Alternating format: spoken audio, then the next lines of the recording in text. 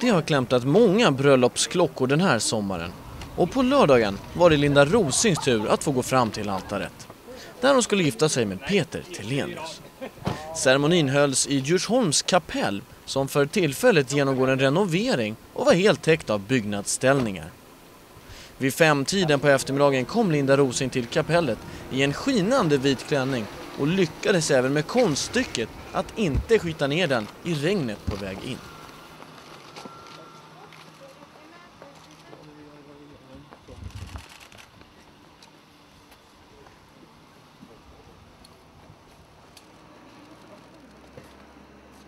Efter bröllopet tog sig de nygifta ut till Villa Pauli för middag och fest.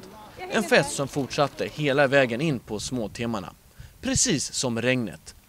Men man säger ju att regn på bröllopsdagen är ett tecken på god lycka i det framtida giftermålet.